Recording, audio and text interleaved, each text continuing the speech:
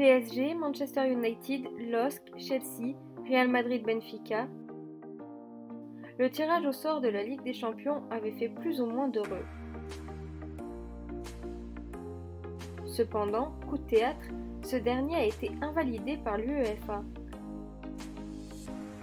Et pour cause, plusieurs erreurs ont été commises.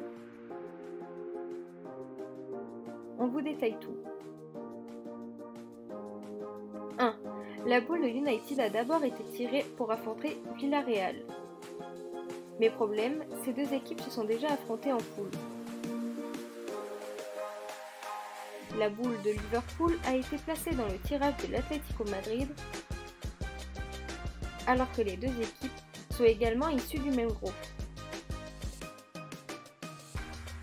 La boule de Manchester n'a pas été incluse dans le tirage de l'Atlético, alors que cela aurait dû être fait.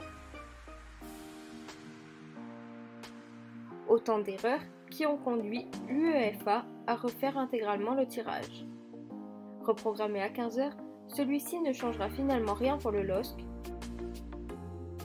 Le PSG, par contre, affrontera le Real Madrid.